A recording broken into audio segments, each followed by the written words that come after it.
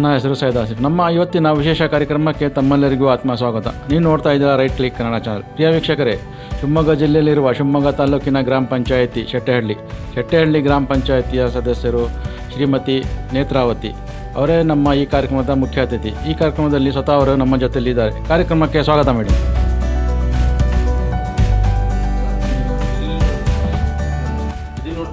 ಈ ಕಾರ್ಯಕ್ರಮದ ಉದ್ದೇಶ ಏನೆಂದರೆ ಒಬ್ಬ ಗ್ರಾಮ ಪಂಚಾಯಿತಿಯ ಜನಪ್ರತಿನಿಧಿ ಆಗುವವರೆಗೂ ಏನೆಲ್ಲ ಹೋರಾಟಗಳನ್ನು ಮಾಡಿಕೊಂಡು ಬಂದಿರ್ತಾರೆ ಅವರ ಬಾಲ್ಯ ವಿದ್ಯಾಭ್ಯಾಸ ವೃತ್ತಿ ಜೀವನ ಇದನ್ನೆಲ್ಲ ಜನರಿಗೆ ತಿಳಿಸಬೇಕು. ಇದೇ ನಮ್ಮ ಈ ಕಾರ್ಯಕ್ರಮದ ಮೂಲ ಉದ್ದೇಶ. ಮೇಡಮ್ ಈಗ ನಿಮ್ಮ ಬಾಲ್ಯದಿಂದ ಪ್ರಾರಂಭ ಮಾಡೋಣ. ನಿಮ್ಮ ಬಾಲ್ಯ ಜೀವನ ಮತ್ತು ನಿಮ್ಮ ತಂದೆ ತಾಯಿ ಬಗ್ಗೆ ಹೇಳಿ. ನಮ್ಮ ತಂದೆ ಕೃಷ್ಣಪ್ಪ ತಾಯಿ ಹನುಮಮ್ಮ ನಿಧಿಗೆ. ನಿಧಿಗೆಲ್ಲ ಹುಟ್ಟಿದ್ದು ಏನು ಮಾಡ್ತಿದ್ರು ನಮ್ಮ ತಂದೆ? ನಮ್ಮ ತಂದೆ ಇದು ರೈತರು. ತಾಯಿ? ತಾಯಿನೂ ಕೂಲಿ ಕೆಲಸ. ಅಣ್ಣ ತಮ್ಮಂದರು? ಅಣ್ಣ ಅಣ್ಣ ನಾವು ಇಬ್ಬರೇ ಏನು ಮಾಡ್ತಾಯಿದ್ರು ಅವರು ಗ್ಯಾಸ್ ಇಂಡಿಯನ್ ಗ್ಯಾಸಲ್ಲಿ ವರ್ಕ್ ಮಾಡ್ತಿದ್ದಾರೆ.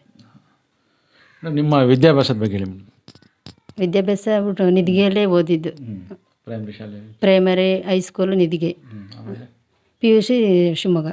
College ಕಾಲೇಜಲ್ಲಿ ಏನಾದರೂ ಹೋರಾಟಗಳು ಮಾಡ್ತಿದ್ದೀರಾ? ಏನೂ ಇಲ್ಲ ಆ ಥರ ಏನಿಲ್ಲ ಸ್ಪೋರ್ಟ್ಸಲ್ಲಿ ಏನಾದಿರಾ ಸ್ಪೋರ್ಟ್ಸಲ್ಲಿ ಕಾಲೇಜಲ್ಲಿ ಇರಲಿಲ್ಲ ಹೈಸ್ಕೂಲಲ್ಲೆಲ್ಲ ಭಾಗವಹಿಸಿದ್ದೀವಿ ಹಾಂ. ಯಾವುದ್ರಲ್ಲಿ ಖೋ ಖೋ ರನ್ನಿಂಗ್ ರೇಸ್ ಇದೆ. ಹ್ಞೂ ಆಟ ಆಡ್ತಾಯಿದ್ವಿ ಪ್ರಶಸ್ತಿ ಏನಾದ್ರು ಬಂದಿದೆಯಾ? ಹಾಂ. ಮುಂದೆ ಮದುವೆ. ಈಗ ನಿಮ್ಮ ಕುಟುಂಬದ ಬಗ್ಗೆ ಹೇಳಿ ಮೇಡಮ್ ನಮ್ಮ ಕುಟುಂಬ ನಾವು ನಮ್ಮ ಮನೆಯವರು ಇಬ್ಬರು ಮಕ್ಕಳು. ಯಜಮಾನರು ಗಣೇಶ್. ಏನು ಏನು ಮಾಡ್ತಾಯಿದ್ರು ಅವರು ಗ್ಯಾಸ್ ಇಂಡಿಯನ್ ಗ್ಯಾಸಲ್ಲಿ ವರ್ಕ್ ಮಾಡ್ತಿದ್ದಾರೆ. ಸರ್ ಈಗ ನಿಮ್ಮ ಕ್ರಿಯೆ ಪರಿಚಯ ಕೊಡಿ ಸರ್. ಸರ್ ನಮ್ಮ ಹೆಸರು ಗಣೇಶ್ ಅಂತ ಹೇಳಿ ತಂದೆ ಹೆಸರು ಬಸಪ್ಪ ಗೌರಮ್ಮ. ನಾವು ಎಂಟು ಜನ ಮಕ್ಕಳು. ಎಂಟು ಜನದಲ್ಲಿ ಇಬ್ಬರು ಫಸ್ಟ್ ತೀರೋದ್ರು ಅಕ್ಕರು ಮೂರು ಜನ ಇದ್ದಾರೆ ಅಣ್ಣರು ಇಬ್ಬರು ತೀರೋದ್ರು. ನಾನೊಬ್ಬ ಇದ್ದೀನಿ ಇನ್ನು. ಓದಿದ್ದೆಲ್ಲ ಶೆಟ್ಟಹಳ್ಳಿಲಿ ಶೆಟ್ಟಹಳ್ಳಿ ನಾನು sir P U C second second P U C ಓದಿದ್ದೀನಿ. ಮೊದಲೇ ಪ್ರೈಮರಿ ಶಾಲೆ ಎಲ್ಲ ಆ, ಇದೆ ಶೆಟ್ಟಹಳ್ಳಿ ಸಾರಿ ಸರ್ಕಾರಿ ಹಿರಿಯ ಪ್ರಾಥಮಿಕ ಶಾಲೆ ಆಮೇಲೆ ಸರ್ಕಾರಿ ಪ್ರ- ಪ್ರೌಢಶಾಲೆಯಲ್ಲಿ ಆಮೇಲೆ ವಿದ್ ಕಾಲೇಜ್ ಶಿವಮೊಗ್ಗ. ಸರಿ. ಮೇಡಮ್ ನಿಮಗೆ ರಾಜಕಾರಣಕ್ಕೆ ಬರಬೇಕು ಅನಿಸಿದೆ ಯಾವಾಗ ಬರಬೇಕು ಅನಿಸಿದ್ದು ಇವಾಗ. ಹಾಂ. ನೀವೇನು ಹೇಳ್ತೀರಾ ಸರ್? ಬಂದ್ರಿ ರಾಜಕಾರಣಕ್ಕೆ? ಸರ್ ರಾಜಕಾರಣಕ್ಕೆ ಬರಬೇಕು ಅಂತ ಅಲ್ಲ. ಜನಗಳದೊಂದು ಇದಿತ್ತು ಇದುವರೆಗೂ ನಾವು ಯಾವುದೇ ಕಾರಣಕ್ಕೂ ಗೆಲ್ಲಕ್ಕೆ ಆಗ್ತಿರ್ಲಿಲ್ಲ ಇದು ನಾನು, ನನ್ನ ಪಾಡಿಗೆ ನಾವು ನಮ್ಮ ಪಾಡಿಗೆ ನಾವು ಇದು ಮಾಡಬೇಕು ಅಂತ ಇದ್ದಾಗ ಸಂದರ್ಭದಲ್ಲಿ ಮೂವತ್ತು ಇಪ್ಪತ್ತೈದು ಮೂವತ್ತು ವರ್ಷ ಆದ್ರೂ ಗೆಲ್ಲಕ್ಕಾಗ್ತಿಲ್ಲ. ಒಂದು ಇನ್ನೂರೈವತ್ತು, ಮುನ್ನೂರು ಮತಗಳು ಇದ್ರೂ ಕೂಡ ನಾವು ಗೆಲ್ಲಕ್ಕೆ ಆಗ್ತಿರ್ಲಿಲ್ಲ ನಮಗೆ ಬೆ ಗೆಲ್ಲಬೇಕಾದಿದ್ದು ಓಟೇ ಅಷ್ಟಿತ್ತು. ಈಗ ಓಟ್ ಗೆಲ್ಲಬೇಕಾದಿದ್ದು ಓಟ್ ಇಲ್ಲೇ ಇತ್ತು, ಗೆಲ್ಲಕ್ಕಾಗ್ತಿರಲಿಲ್ಲ. ನಮ್ಮಲ್ಲೇ ಆದಂಥ ಕಿತ್ತಾಟಗಳು, ನಮ್ಮಲ್ಲೇ ಆದ ಗೊಂದಲಗಳನ್ನ ಹೊರಗಡೆಯಿಂದ ಜನಗಳು ಸೃಷ್ಟಿಸ್ತಾ ಇದ್ರು. ಹಂಗಾಗಿ ಎರಡು, ಮೂರು ಪಂಗಡಗಳಾಗಿ ನಿಲ್ತಾ ಇದ್ರು. ಈ ಸತಿ ಅದಕ್ಕೆ ಅನುವು ಮಾಡಿಕೊಡ್ಬಾರ್ದು ಅಂತ ಹೇಳ್ಬಿಟ್ಟು ಒಂದೇ ಮಾಡಿಕೊಂಡು ಒಂದು ದೇವ್ರ ಸನ್ನಿಧಿನಲ್ಲಿ ಯಜಮಾನ್ರೆಲ್ಲ ಸಮ್ಮುಖದಲ್ಲಿ ಮಾತಾಡಿ ಕೂತ್ಕೊಂಡು ಒಬ್ಬರನ್ನೇ ನಿಲ್ಸೋಂಗೆ ಮಾಡ್ಕೊ ಅವ್ರು ಯಾರಾದರೂ ಮತ್ತೆ ನಾಮಿನೇಷನ್ ಫೈಲ್ ಮಾಡ್ತೀನಿ ಅಂತ ಹೇಳಿದ್ರೆ ಅವ್ರಿಗೆ ಯಾರು ಅಡ್ಡಿಪಡಿಸೋದು ಬೇಡ ಅಂತ ಹೇಳಿ ಮಾಡಿದ್ರು. ಜನಗಳ ಅಪೇಕ್ಷೆ ಮೇರೆಗೆ ಈ ಸತಿ ನಾವು ನಮ್ಮ ಮಿಸ್ಸಸ್ ನಿಲ್ಸಕ್ಕೆ ಬೇಕಾದ ಸಂದರ್ಭ ಬಂತು. ಮೇಡಮ್ ನೀವು ಮೊದಲಿಂದ ಸಮಾಜ ಸೇವೆಗಳನ್ನು ಮಾಡ್ತಾ ಬಂದಿದ್ದೀರಾ? ಇಲ್ಲ ಇಲ್ಲ ಆ ಥರ ಏನಿಲ್ಲ. ನೀವೇನಾದ್ರು ಮಾಡಿದ್ದೀರಾ ಸಮಾಜ ಸೇವೆಗಳು? ಸಮಾಜ ಸೇವೆ ಫಸ್ಟ್ ನಾವು ಇಲ್ಲಿ ಗ್ರಾಮ ಪಂಚಾಯತಿಗೆ ಹೋಗ್ತಾ ಇದೀವಿ. ಆಮೇಲೆ ಶೌಚಾಲಯದ್ದು ಒಂದು ಫಸ್ಟ್ ಬೇಸಿಕಲ್ಲೇ ಈ ಗ್ರಾಮ ಪಂಚಾಯತಿ ಇಲ್ಲಿಂಗಂದ್ರೆ ಹನ್ನೆರಡು, ಹದಿಮೂರು ವರ್ಷದ ಹಿಂದೆ ಗ್ರಾಮ ಪಂಚಾಯತಿ ಗ ಶೌಚಾಲಯ ಕಟ್ಟೋ ಇದರಲ್ಲಿ ಸ್ವಲ್ಪ ಭಾಗವಹಿಸಿದ್ದೆ. ಆಮೇಲೆ ಚರಂಡಿ ವ್ಯವಸ್ಥೆ, ಆಮೇಲೆ ಉದ್ಯೋಗ ಖಾತ್ರಿಯಲ್ಲಿ ಕೆಲಸಕ್ಕೆ ಹೋಗ್ತಿದ್ವಿ ನಾವು ತುಂಬ ಬಡವರೇ ಆಗಿದ್ದರಿಂದ ಉದ್ಯೋಗ ಕೆಲಸಕ್ಕೆ ಕೆಲಸಕ್ಕೆ ಹೋಗ್ತಾ ಇದ್ವಿ ನಮ್ಮ ಮನೆಯಲ್ಲಿ ನಾವು ಅಷ್ಟು ಹೋಗ್ತಾ ಇದ್ವಿ ನಾನು, ನಮ್ಮ ತಂದೆ, ನಮ್ಮ ತಾಯಿ, ನಮ್ಮ ಮಿಸ್ಸಸ್ ಇವ್ರನ್ನೆಲ್ಲ ಕರ್ಕೊಂಡು ಹೋಗ್ತಿದ್ದೀವಿ. ಸೋಷಿಯಲ್ ಸರ್ವಿಸ್ ಮಾಡ್ತಕ್ಕಂಥ ಇದ್ವಿ ಹಂಗೆ ಕೆಲಸಗಳು ಜನಗಳನ್ನ ನೋಡೋಣ ಅಂತ ತುಂಬ ಇತ್ತು ಸರಿ. ಪ್ರತಿಯೊಬ್ಬರ ಜೀವನದಲ್ಲಿ ತಮ್ಮದೇ ಆದ ಮಾರ್ಗದರ್ಶಕ ಇರ್ತಾರೆ ನಿಮ್ಮ ಜೀವನದ ಮಾರ್ಗದರ್ಶಕರು ಯಾರು? ನಮ್ಮ ಮನೆಯವರು. ಹೌದಾ? ಜೀವನದ ಅವರೇ? ರಾಜಕೀಯದವರು ಅವರೇನಾ? ತಂದೆ ತಾಯಿ ಯಜಮಾನರು. ಯಜಮಾನ್ರು ಸರಿ ನೀವೇನು ಇಷ್ಟಪಡ್ತೀರಿ ಸರ್? ಸರ್ ನಾವು ಫಸ್ಟು ಮಾರ್ಗದರ್ಶನಕ್ಕಿಂತ ನಮ್ಮ ಜನಾಂಗ ಮುಂದೆ ಬರಬೇಕು.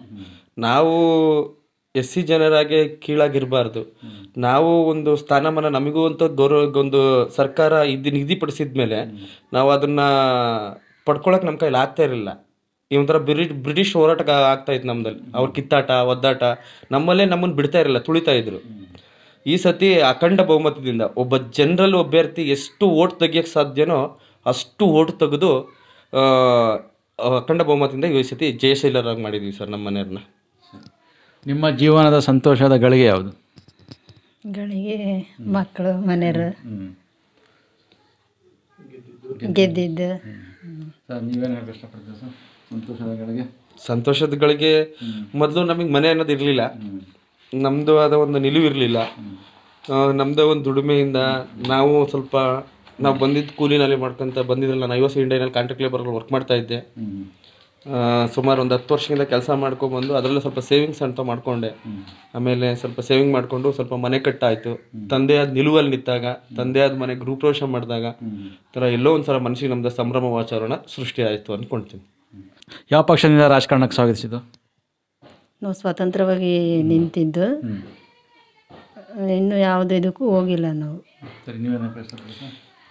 ಸರ್ ನಾವು ಮೊದಲು ಅವರು ಸ್ವತಂತ್ರವಾಗಿ ನಾವು ನಿಂತು ನಿಲ್ಲಕ್ಕೆ ನಮ್ಗೆ ಯಾವ ಪಕ್ಷದನ್ನು ಹೆಲ್ಪ್ ಮಾಡಲಿಲ್ಲ. ಸ್ಟಾರ್ಟಿಂಗ್ ಸ್ಟಾರ್ಟಿಂಗ್ ಯಾರು ಹೆಲ್ಪ್ ಮಾಡಲಿಲ್ಲ ಅನ್ನೋದಕ್ಕಿಂತ ನಾವು ಇವ್ರನ್ನ ಗೆಲ್ತಾರಾ ಏನು ಮಾಡ್ತಾರಾ ಇವ್ರು ಯಾವಾಗಲೂ ಹಿಂಗೆ ಅಂತ ಮೂವತ್ತು ವರ್ಷದಿಂದ ತುಂಬ ಇನ್ಸಲ್ಟ್ ಇನ್ಸಲ್ಟ್ ಮಾಡ್ತಾ ಇರೋದ್ರು. ಅವಾಗ ನಾವು ಇದೇ ಥರ ಈಗ ಇರುತ್ತೆ ಅಂತ ಹೇಳ್ಬಿಟ್ಟು ನಾನು ಫಸ್ಟ್ ಕಾಂಗ್ರೆಸ್ಸಲ್ಲಿ ವರ್ಕ್ ಮಾಡ್ತಾ ಇದ್ದೆ. ಕಾಂಗ್ರೆಸ್ಸಲ್ಲಿ ಅಂದರೆ ಅವರೊಬ್ಬರು ಲೀಡ್ರ್ ಜೊತೆಗೆ ಅವ್ರಿಗೆ ಕಾಫಿ ತಿಂಡಿ ತಿನ್ನೋ ಲೆವೆಲಲ್ಲಿ ಅಷ್ಟೇ ಇದ್ದಿದ್ದು ನಾವು. ನಮ್ಮನ್ನೇನು ಬೆಳೆಸ್ತಾ ಇರಲಿಲ್ಲ ನಮ್ಮನ್ನೇನು ಇದು ಮಾಡ್ತಾ ಇರಲಿಲ್ಲ. ಇಲ್ಲಿಂದ ಏನು ಸೌಲಭ್ಯ ಬೇಕು ಅದನ್ನು ಮಾತ್ರ ಕಸ್ಕೊಳ್ಳೋರು ನಮ್ಮನ್ನು ಯಾವುದೇ ಇರೋದಕ್ಕೆ ಮುಂದಾಗಿ ಬಿಡ್ತಿರ್ಲಿಲ್ಲ ಅವರು. ಸರಿ ಮುಂದೆ ಬರುವ ಯಾವ ಚುನಾವಣೆಯಲ್ಲಿ ಭಾಗವಹಿಸಲು ಇಚ್ಛಿಸಿ ಇಚ್ಛಿಸಿದ್ದೀರಾ? ಮುಂದೆ ಬರೋದಕ್ಕೆ ಯಾವುದಕ್ಕೂ ಇನ್ನೂ ಡಿಸೈಡ್ ಮಾಡಿಲ್ಲ. ಮನೆಯವ್ರು ಯಾವ್ದು ಹೇಳ್ತಾರೆ ಅದು. ಸರಿ ಏನಾದರೂ ಯೋಚನೆ ಮಾಡಿದ್ದೀರಾ ನೀವು ಮುಂದೆ? ಸರ್ ಮುಂದೆ ನಾವು ತಾಲೂಕ್ ಪಂಚಾಯತಿಲಿ ಜೆ ಟಿ ಪಿಲಿ ಏನಾರು ಇದು ಸಿಕ್ಕಿದ್ರೆ ಎಸ್ ಸಿ ಕೋಟ ರಿಸರ್ವ್ ಇದೆ. ನಾವೊಂದೇ ನಮ್ಮ ಪಕ್ಷ ಅಂತ ಒಂದು ಗುರುತಿಸ್ಕೊಂಡು ಅದರಲ್ಲಿ ನಾವು ಊರ ಅಭಿವೃದ್ಧಿ ಒಳ್ಳೆ ಕೆಲಸಗಳು ಮಾಡ್ಕೊತಾ ಹೋದಾಗ ಜನಗಳೇ ನಮ್ಮನ್ನು ಗುರುತಿಸ್ತಾರೆ. ಆ ಅಂತ ಮಟ್ಟ ಹೇರಿದಾಗ ಟಿ ಪಿಲ್ ಸ್ಪರ್ಧಿಸ್ಬೇಕು ಅನ್ನೋ ಆ- ಆಕಾಂಕ್ಷೆ ಐತೆ. ಸರಿ ಗ್ರಾಮ ಪಂಚಾಯತಲ್ಲಿ ಸ್ಪರ್ಧೆ ಮಾಡಲು ಕಾರಣ? ಇಲ್ಲೇ ಸ್ಪರ್ಧೆ. ಇಲ್ಲಿ ನಿಲ್ಲೋದು ಕಾರಣ ಅಂದರೆ ಇಲ್ಲಿ ಜನಗಳದ್ದು ನಿಲ್ಲಬೇಕು ಇದು ಮಾಡಬೇಕು ಗೆಲ್ಲಬೇಕು ಇಪ್ಪತ್ತು ವರ್ಷದಿಂದ ಒಬ್ಬರನ್ನು ಕ ತಗೊಳಕ್ಕಾಗಿಲ್ಲ ಒಂದು ಸೀಟನ್ನು ಎಸ್ಸಿನ ಈ ಸರಿ ನಿಲ್ಲಬೇಕು ಅಂತ ಜನದ ಒತ್ತಡದಿಂದ ಮತ್ತೆ ಮನೆಯವರು ಅದರಿಂದ. ಸರಿ ನೀವೇನು ಹೇಳ್ತೀರಾ ಸರ್? ಸರ್ ಅದೇ ಅವಾಗಲೇ ಹೇಳ್ದಂಗೆ ನಮ್ಮ ಇದುವರೆಗೂ ನಮ್ಮದೇ ಆದ ಓಟ್ಗಳಿದ್ರು ಸೀಮಿತ ಓಟ್ಗಳಿದ್ರು ನಾವು ಗೆಲ್ಲ ಪ್ರಯತ್ನಕ್ಕೆ ಆಗಲೇ ಇಲ್ಲ. ನಮಗಿದ್ರ ಬಗ್ಗೆ ಐಡಿಯಾ ಇರಲಿಲ್ಲ ಅಷ್ಟು. ಈ ಗ್ರಾಮ ಪಂಚಾಯತಿ ಚುನಾವಣೆ ಆಗಿ ಯಾಕಂದರೆ ನಮ್ಮದೇ ಜೀವನದಲ್ಲಿ ಸಂಸಾರ ಜೀವನ ತೊಡ್ಕೊಂಡು ಬೇಕಾದ್ರೆ ಇದು ಮಾಡೋದು ಸೋಷಿಯಲ್ ವರ್ಕ್ ಮಾಡಬೇಕು ಅನ್ನೋದಕ್ಕಿಂತ ನಮಗೆ ತುಂಬ ಇದ್ರೂ ಕೂಡ ಆಗಲ್ಲ ಅನ್ನೋ ಒಂದು ಮನೋಭಾವ ಜನರೆಲ್ಲರೂ ಹುಟ್ಟಿತ್ತು. ಅದನ್ನು ಮೀರಿ ನಾವು ಮೂವತ್ತು ವರ್ಷದ ಇತಿಹಾಸ ಬರಿಬೇಕು ಅಂತ ಹೇಳಿ ಈ ಸತಿ ಸತಾಯ ಗತಾಯ. ನಮ್ಮ ಹುಡುಗರು ನಮ್ಮ ನಮ್ಮ ಫ್ರೆಂಡ್ ಸರ್ಕಲ್ಲು ನಮ್ಮ ಎಲ್ಲರೂ ಇದರಲ್ಲಿ ಈ ಸತಿ ಪ ಹಗಲು ರಾತ್ರಿ ಶ್ರಮ ಸರ್, ಶ್ರಮ ವಹಿಸಿದ್ದಾರೆ ಈ ಸತಿ. ಈಗ ತುಂಬಾ ಅಂದರೆ ಹಗಲು ರಾತ್ರಿನೇ ಅವರು ಇದು ಮಾಡಿದ್ದಾರೆ. ಗೆಲ್ಲೇಬೇಕು. ಈಗ ನಾವೊಂದು ಓಟ್ ಕೊಟ್ಟರೆ ನೀವೊಂದು ಓಟ್ ಕೊಟ್ಟರೆ ಮಾತ್ರ ನಾವು ಬರ್ತೀವಿ, ಇಲ್ಲಾಂದ್ರೆ ನಾವು ಓಟ್ ಕೊಡಲ್ಲ. ನೀವು ಓಟ್ ಮಾಡ್ತಾ, ಓಟ್ ಮಾಡಿದ್ರೆ ನಾವು ಮಾಡ್ತೀವಿ ಅನ್ನೋ ಒಂದು ಇದರಲ್ಲಿ ಹಂತದಲ್ಲಿ ಓಟಿದ್ದೀವಿ ಮಿನಿಮಮ್ ಮುನ್ನೂರ ಮುನ್ನೂರ ತೊಂಬತ್ತೆರಡು ಓಟ್ರ ತನಕ ಈ ಸತಿ ಗೆಲ್ಸಿದೆ. ನಮಗೆ ಬೇಕಾಗಿದ್ದು ಇನ್ನೂರು ಇನ್ನೂರು ಇನ್ನೂರ ಐವತ್ತು ಓಟ್ ಸಾಕಾಗಿತ್ತು. ಮುನ್ನೂರ ತೊಂಬತ್ತೆರಡರ ತನಕ ಓಟ್ ರೀಚ್ ಆಗಿದೆ ಈ ಸತಿ. ಇದೇ ಫಸ್ಟ್ ಟೈಮು ಒಳ್ಳೆ ಓಟ್ ಜನ ಮಾಡಿದ್ದಾರೆ. ಅವರ ನಿರೀಕ್ಷೆಯಂತೆ ನಾವು ಅಭಿವೃದ್ಧಿ ಕೆಲಸ ಮಾಡಬೇಕು ಅಂತ ಅಂದ್ಕೊಂಡಿದ್ದೀವಿ ಮೇನಾಗಿ ನಾನು ದೇವ್ರ ಮೇಲೆ ಆಶೀರ್ವಾದ ಇಟ್ಟು ಪ್ರಮಾಣ ಮಾಡಿದ್ದೀನಿ. ಆ ದೇವರು ಗೆಲ್ಲಿಸುತ್ತೆ ಅಂತ ಭರವಸೆ ಇಟ್ಟಿದ್ದೆ. ಆ ದುರ್ಗಮ್ಮನ ದೇವಸ್ಥಾನ ಮಾಡಬೇಕು. ಈ ಸತಿ ಇದುವರೆಗೂ ಮೂವತ್ತು ವರ್ಷದಿಂದ ನಾವು ಏನು ಜನಾಂಗದಲ್ಲಿ ಇರೋ ತನಕ ಇದುವರೆಗೂ ನಮ್ಮದೇ ಆದ ಸೀಮಿತವಾದ ದೇವಸ್ಥಾನ ಇಲ್ಲ. ಇದ್ರೂ ಅರ್ಧ ಬರ್ಧ ಆಗಿದೆ. ಸ್ಮಶಾನ ಇಲ್ಲ. ಈಗ ನಾನು ಪ್ರಶ್ನೆ ಬರ್ತಾ ಇದ್ದೀನಿ ನಾನು. ನಿಮ್ಮ ಗ್ರಾಮದಲ್ಲಿ ಏನೋ ಸಮಸ್ಯೆಗಳಿದೆ? ಸಮಸ್ಯೆಗಳು ಅಂದರೆ ಬೀದಿ ದೀಪಗಳು ಮತ್ತು ಚರಂಡಿ. ಆಮೇಲೆ ದೇವಸ್ಥಾನ ಅದು ಅರ್ಧ ಹಂಗೆ ಆಗಿ ನಿಂತಿದೆ. ಅದು ಹೆಣ್ಮಕ್ಳೆಲ್ಲ ಹೊಲಿಗೆ ತರಬೇತಿ ಏನೂ ಇಲ್ಲ. ಅದೆಲ್ಲ ಆಗಬೇಕು. ಸರಿ ನೀವೇನು ಹೇಳಕ್ಕೆ ಸಮಸ್ಯೆಗಳ ಬಗ್ಗೆ. ಸಮಸ್ಯೆ ಸರ್ ನಮ್ಮದೇ ಆದ ಇದು ಬೀದಿ ದೀಪಿನ ತುಂಬ ಸಮಸ್ಯೆ ಇದೆ. ಆಮೇಲೆ ನೀರು ಸರಿಯಾಗಿ ಇದು ಇದು ಮಾಡ್ತಾ ಇಲ್ಲ. ನೀರಿಂದು ಟೈಮಿಗೆ ಸರಿಯಾಗಿ ನೀರು ಇದು ಅಭಾವ ಇದೆ. ಆಮೇಲೆ ಚರಂಡಿ ಅವಸ್ಥೆ ತುಂಬಾ ಇದೆ. ಮೇನಾಗಿ ಈ ರುದ್ರಭೂಮಿ ಅನ್ನೋದು ನಮ್ಮಲ್ಲಿ ಇಲ್ಲ. ಅಂದರೆ ಊರು ಶೆಟ್ಟಳ್ಳಿ ಎರಡರಾಗಿದ್ರೆ ಒಂದು ಅಲ್ಲಿದೆ. ಇಲ್ಲಿಂದ ಅಲ್ಲಿಗೆ ಎರಡು ಕಿಲೋಮೀಟ್ರ್ ನಾವೊಂದು ಶವ ಸಂಸ್ಕಾರಕ್ಕೆ ಹೋಗ್ಬೇಕು ಅಂದರೆ ತುಂಬ ಪ್ರಾಬ್ಲಮ್ ಆಗ್ತಾ ಇತ್ತು. ಅದಕ್ಕೆ ಇಲ್ಲೇ ಮೊನ್ನೆ ಸ್ವಲ್ಪ ರುದ್ರಭೂಮಿ ಅಂತೇಳಿ ಜಾಗ ಇತ್ತು. ಅದರಲ್ಲಿ ಜನಗಳನ್ನೆಲ್ಲ ಒಗ್ಗೂಡಿಸ್ಕೊಂಡು ಮಾಡಿಬಿಟ್ಟು ತಹಸೀಲ್ದಾರನ್ನ ಕರೆಸ್ಬಿಟ್ಟು ಅದನ್ನು ಇದು ಮಾಡಿಬಿಟ್ಟು ಮಾಡಿದ್ದೀವಿ ಅದನ್ನ ಈಗ ಹದ್ದುಬಸ್ತಿ ಕೊಡಬೇಕು ಅಂತೇಳಿ ಇದೇನು ಗ್ರಾಮ ಪಂಚಾಯತಿ ನಾವು ಗೆದ್ದಿರೋದ್ರಿಂದ ಹದ್ದುಬಸ್ತಿ ಕೊಡಬೇಕು ಅಂತೇಳಿ ಇಪ್ಪತ್ನಾಲ್ಕನೇ ತಾರೀಕು ನಾವು ಮೀಟಿಂಗ್ ಕರೆಯೋಕೆ ಹೇಳಿದ್ದೀನಿ ಆ ಮೀಟಿಂಗ್ ಕರೆಯೋಕ್ಕೆ ನಮ್ಮ ಮನೆಯವ್ರ ತಕ್ಕ ಹೇಳಿದ್ದೀವಿ ಅದನ್ನ ಮಾಡಿಬಿಟ್ಟು ಹದ್ದುಬಸ್ತಿ ಮಾಡಿಬಿಟ್ಟು ಅದರದ್ದು ಸುತ್ತಳತೆ ಒಂದು ಇದು ಮಾಡಿಬಿಟ್ಟು ತಂತಿ ಬೇಲಿ ಹಾಕಿಸಿ ವ್ಯವಸ್ಥೆ ಮಾಡೋ ವ್ಯವಸ್ಥೆ ಮಾಡೋಣ ಅಂತ ಕೈಗೊಂಡಿದ್ದೀವಿ ಸರ್. ಬೇರೆ ಸಮಸ್ಯೆ ಬೇರೆ ಸಮಸ್ಯೆ ಸರ್ ಇದು ಇದೆ. ರಸ್ತೆ ಆಗಿಲ್ಲ. ಆಮೇಲೆ ಚರಂಡಿ ವ್ಯವಸ್ಥೆ ಆಗಿಲ್ಲ. ಆಮೇಲೆ ಕುಡಿಯೋ ನೀರಿಂದು ಪೈಪ್ಲೈನ್ ವ್ಯವಸ್ಥೆ ಆಗಿಲ್ಲ. ಸುಮಾರು ಕೆಲಸಗಳಿಗೆ ಇದೆ ಸರ್ ಈಗ. ಜನಗಳನ್ನೊಂದು ಯಾವ್ದ್ಯಾವುದು ಯಾವ್ದ್ಯಾವ್ದು ಇದೆ ಅಂತ ಗ್ರಾಮ ಸಭೆ ಕರ್ಕೊಂಡು ಅವ್ರವ್ರ ಸಮ್ಮುಖದಲ್ಲೇ ನಾವು ಅವ್ರು ಏನು ಹೇಳ್ತಾರೋ ಅದನ್ನು ಅಟ್ಲೀಸ್ಟ್ ಒಂದು ನೈಂಟಿ ಪರ್ಸೆಂಟು ಕೆಲಸ ಮಾಡೋ ಪ್ರಯತ್ನ ಮಾಡ್ತೀವಿ ಸರ್ ಈ ಐದು ವರ್ಷದಲ್ಲಿ. ಸರಿ ಮೇಡಮ್ ಮಹಿಳಾ ಸಮಸ್ಯೆ ಇದೆಯಾ ಇಲ್ಲಿ? ಮಹಿಳೆಯರು ಅಂದರೆ ಸಮಸ್ಯೆ ಅವ್ರ ಬಗ್ಗೆ. ಅದೇ ಓದಿದ್ದಾರೆ ಹೆಣ್ಮಕ್ಳೆಲ್ಲ ಮನೆಯಲ್ಲೇ ಇದ್ದಾರೆ ಅವ್ರಿಗೆ ಏನು ತರಬೇತಿ ಇಲ್ಲ. ಅವರಿಗೆಲ್ಲ ಅದೆಲ್ಲ ಹೆಲ್ಪ್ ಆಗಬೇಕು. ಬೇರೆ ಏನೋ ಸಾರಿಗೆ ಸಮಸ್ಯೆ ಇದೆಯಾ? ಸಾರಿಗೆ ಸಮಸ್ಯೆ ಸರ್ ಈಗ ಬಸ್ ಎರಡು ಬಿಟ್ಟಿದ್ದಾರೆ. ಈಗ ಇದು ಇದುವರೆಗೂ ಕೊರೋನಾ ಕಡೆಯಿಂದ ಬಿಟ್ಟಿರ್ತಿರ್ಲಿಲ್ಲ. ತುಂಬಾ ಆಟೋಕ್ಕೆ ಒಂದು ಇಲ್ಲಿಂದ ಶಿವಮೊಗ್ಗ ಹತ್ತು ಕಿಲೋಮೀಟ್ರ್ ಆಟೋಕ್ಕೆ ಐವತ್ತು ರೂಪಾಯಿ ಕೊಡಬೇಕಿತ್ತು. ಅವ್ರು ಇಡೀ ಸಂಪಾದನೆಯಲ್ಲಿ ಇನ್ನೂರು ರೂಪಾಯಿ ಕೂಲಿ ಕೊಡ್ತಾರೆ. ಐವತ್ತು ರೂಪಾಯಿ ಬರೀ ಆಟೋಕ್ಕೆ ಹೋಗ್ತಾ ಬರ್ತಾರೆ. ನೂರು ನೂರೈವತ್ತು ರೂಪಾಯಿ ಖರ್ಚಾಗಿರೋದು. ಈಗ ಬಸ್ಸಿನ ವ್ಯವಸ್ಥೆ ಅಂದರೆ ಎರಡು ಬಸ್ ಬಿಟ್ಟಿದ್ದಾರೆ. ಈಗ ಬಸ್ಸಲ್ಲಿ ಹೋಗೋ ವ್ಯವಸ್ಥೆ ಮಾಡಿದ್ದಾರೆ ಸರ್ ಈಗ. ಸರ್ ಈ ಸಮಸ್ಯೆಗಳಿಗೆ ಬಗೆಹರಿಸಲು ನಿಮ್ಮ ಏನಾದರೂ ಯೋಜನೆ ಇದೆಯಾ? ಸರ್, ಈಗ ನಾವು ಮುಂದೆ ಏನಪ್ಪ ಅಂದರೆ ಮೊದಲು ಕೈಗೊಳ್ಬೇಕಾದ್ದು ಗ್ರಾಮ ಪಂಚಾಯತಿದು ಗ್ರಾಮ ಪಂಚಾಯತಿ ನಾವು ಅಧ್ಯಕ್ಷರು, ಉಪಾಧ್ಯಕ್ಷರನ್ನ ಮುಂದೆ ನಾವು ಅಧ್ಯಕ್ಷರಾಗಿದ್ದೀವಿ ಇದು ನಾವು ಎಲ್ಲ ನಮ್ಮಲ್ಲೇ ಮಾತಾಡ್ಕೊಂಡು ಇದು ಮಾಡಿರೋದ್ರಿಂದ ಒಂದು ಟೈಮು ಅಂತ ಹೇಳಿದ್ದೀವಿ ಆ ರೊಟೇಷನ್ ಟರ್ಮಲ್ಲೇ ನಾವು ಅಧ್ಯಕ್ಷರು ಆಗಿದ್ದೀವಿ. ಈಗ ಸದ್ಯಕ್ಕೆ ಸದಸ್ಯರಾಗಿದ್ದೀವಿ. ಮುಂಬರುವ ದಿನಗಳಲ್ಲಿ ಅಧ್ಯಕ್ಷರಾಗ್, ಆಗಲು ಇದ್ದೀವಿ ಅಧ್ಯಕ್ಷರಾಗ್ತೀವಿ. ಎಲ್ಲರೂ ಏನು ಹೇಳ್ತಾರೋ ಕೆಲಸಗಳ ಕಾರ್ಯಗಳನ್ನ ಅದಕ್ಕೆ ಫಸ್ಟ್ ಒತ್ತಡ ಕೊಡಬೇಕು. ಅಧಿಕಾರ, ಕಿತ್ತಾಡ ತಮಗೇನು ಬೇಡ, ಇದೇನು ಶಾಶ್ವತವಾಗಿ ಉಳಿಯಲ್ಲ. ಮಾಡಿದ್ದನ್ನು ಜನ ನೆನೆಸ್ಬೇಕು. ಅವ್ರು ಏನು ಹೇಳ್ತಾರೋ ಅಟ್ಲೀಸ್ಟ್ ನೂರು ಹೇಳಿದ್ರೆ ಅಟ್ಲೀಸ್ಟ್ ಒಂದು ಅರವತ್ತು ತನಕ ರೀಚ್ ಆಗಿ ಕೆಲಸ ಮಾಡಿದ್ರೆ, ಏ ಇಂಥವ್ರು ಇದ್ರಪ್ಪ ಸ್ಪಂದಿಸರು ಜನಗಳನ್ನ ಫಸ್ಟ್ ಸ್ಪಂದಿಸ್ಬೇಕು ಸರ್ ಜನಗಳನ್ನ ಅವರು, ಅವರೇನು ಏನೂ ಕೇಳಲ್ಲ. ಅವ್ರು ಹೇಳಿದ್ರನ್ನ ನಾವು ಅದನ್ನು ಅಲ್ಪ ಸ್ವಲ್ಪ ನಾವು ಬಗೆಹರಿಸಿಲ್ಲ ಅಂತ ಹೇಳಿದ್ರೆ ನಾವು ಏನಕ್ಕೂ ಪ್ರಯೋಜನ ಇರಲ್ಲ. ಹಾಗಾಗ್ಬಿಟ್ಟು ಒಳ್ಳೆ ಕೆಲಸಗಳು ಮಾಡಬೇಕು ಅಂತ ಇದ್ದೀವಿ ಏನು ಜನಗಳು ಹೇಳ್ತಾರೋ ಅದನ್ನು ಸ್ಪಂದಿಸಬೇಕು. ಫಸ್ಟ್ ಅವರಿಗೆ ಮಾತಾಡೋಕೆ ಅವಕಾಶ ಕೊಡಬೇಕು ಫಸ್ಟ್ ಅವ್ರಿಗೆ ಏನು ಸಮಸ್ಯೆನ ಫಸ್ಟ್ ಸ್ಪಾಟ್ ಎನ್ಕ್ವೈರಿ ಮಾಡ್ಬೇಕು. ಎಲ್ಲೋ ಕೂತ್ಕೊಂಡು, ಎಲ್ಲೋ ಮಾಡಿ, ಎಲ್ಲೋ ಇದು ಮಾಡೋದ್ರಿಂದ ಅದು ಅರ್ಥ ಇರಲ್ಲ. ಏನೋ ಗೆದ್ದುಬಿಟ್ರಿ ಅಂತ ದುರಂಕಾರ ಪ್ರತಿಯೊಬ್ಬ ಮೆಂಬರಿಗೂ ಬರಬಾರ್ದು. ಓಟ್ ಕೇಳೋಕ್ಕೆ ಯಾವ ಥರ ಅವ್ರ ಮನೆ ಬಾಗಿಲಿಗೆ ಓದುವೋ ಅವ್ರ ಕಷ್ಟ ಸುಖ ಕೇಳೋಕ್ಕೆ ದಿನಕ್ಕೆಲ್ಲ ವಾರಕ್ಕೆ ಎರಡು ಪಟನಾದರೂ ಅವ್ರ ಮನೆ ಹತ್ರ. ಅವ್ರ ಹತ್ರ ಬೀದಿಲಿ ಹೋದಾಗ ಲೈಟ್ ಹೊತ್ತಿದೆಯಾ ನೀರು ಬರ್ತಾ ಇದೆಯಾ? ನೀರು ಹೋಗ್ತಿದೆಯಾ? ಪ್ರಾಬ್ಲಮ್ ಕೇಳಬೇಕು. ಓಟ್ ಕೇಳಬೇಕಾದ್ರೆ ಐದೈದು ನಿಮಿಷಕ್ಕೆ ಹತ್ತತ್ತು ನಿಮಿಷಕ್ಕೆ ಹೋಗ್ತೀರಾ? ಗೆದ್ದಾದ ಮೇಲೆ ನೀವು ಅಲ್ಲೇ ಇದ್ರೆ ಆ ಥರ ಯಾರೂ ಮತ್ತೆ ಸ್ಪಂದಿಸಲ್ಲ ಜನಗಳು. ಅದು ನಮ್ಮ ಅಭಿಪ್ರಾಯ. ಸರಿ ಸರ್. ಕೊನೆ ಪ್ರಶ್ನೆ. ಮೇಡಮ್ ಜನ ಜನರು ನಿಮ್ಮನ್ನು ಮತ ನೀಡಿ ಆಯ್ಕೆ ಮಾಡಿದ್ದಾರೆ. ಅವ್ರಿಗೇನೆಲ್ಲ ಹೇಳಕ್ಕೆ ಇಷ್ಟಪಡ್ತೀರಾ?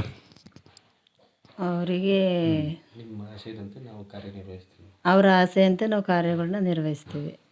ನೀವೇನು ಹೇಳಕ್ಕೆ ಇಷ್ಟಪಡ್ತೀರಾ ಸರ್?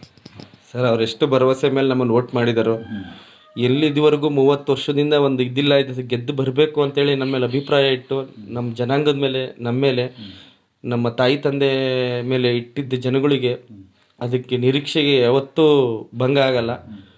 ಅದನ್ನು ಮಾಡೇ ಮಾಡ್ತೀವಿ ಅಂತ ನಾನು ಹೇಳ್ತೀನಿ ಸರ್. ಅಷ್ಟು ಹೇಳೋಕ್ಕೆ ಇಷ್ಟಪಡ್ತೀನಿ ಸರ್. ನಮ್ಮ ಜೊತೆಯಲ್ಲಿ ಚರ್ಚಿಸಲು ಧನ್ಯವಾದಗಳು ಸರ್. ಸರ್ ಧನ್ಯವಾದಗಳು ಸರ್.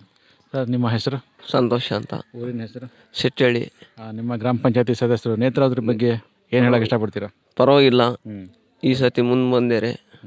ಚೆನ್ನಾಗಿ ವೋಟ್ ಮಾಡ್ಯಾರೆ ಎಲ್ಲ ಜನ ಸೇವೆ ಮಾಡ್ತಾರೆ ಅಂತ. ಒಳ್ಳೆ ಚೆನ್ನಾಗೈತೆ ಒಳ್ಳೆ ಕೆಲಸ ಮಾಡ್ತಾರೆ ಅಂತ ಭರವಸೆ ಐತೆ. ನೀವು ಬೆಂಬಲ ಕೊಟ್ಟಿದ್ದೀರ ಅವರಿಗೆ? ಬೆಂಬಲ ಐತೆ. ಎಲ್ಲ ಅದು ಮಾಡಿಕೊಡ್ತಾರೆ ಈ ಸತಿ. ಸರಿ ಧನ್ಯವಾದಗಳು. ಸರ್ ಸರ್ ಒಳ್ಳೆ ಅಭ್ಯರ್ಥಿ. ನಾವೆಲ್ಲ ಒಮ್ಮತದಿಂದ ಒಬ್ಬರನ್ನ ನಿಲ್ಲಿಸಿ ಗೆಲ್ಸಿದ್ದೀವಿ ಒಳ್ಳೆ ಕೆಲಸಗಳು ಮಾಡಿಕೊಟ್ರೆ. ಒಳ್ಳೆ ಭರವಸೆ ಇದೆ. ಭರವಸೆಯಿಂದನೇ ಗೆಲ್ಸಿರೋದು. ಧನ್ಯವಾದಗಳು. ನಾವು ನಮ್ಮ ಹೊಸ ಅತಿಥಿಯೊಂದಿಗೆ ನಿಮ್ಮ ಮುಂದೆ ಮತ್ತೊಮ್ಮೆ ಬರ್ತೀವಿ ವಿಡಿಯೋ ಇಷ್ಟ ಆದರೆ ಲೈಕ್ ಮಾಡಿ, ಶೇರ್ ಮಾಡಿ. ನಮ್ಮ ಚಾನಲನ್ನು ಸಬ್ಸ್ಕ್ರೈಬ್ ಮಾಡದೇ ಇದ್ದರೆ ಈ ಕೂಡಲೇ ಸಬ್ಸ್ಕ್ರೈಬ್ ಮಾಡಿ. ಧನ್ಯವಾದಗಳು.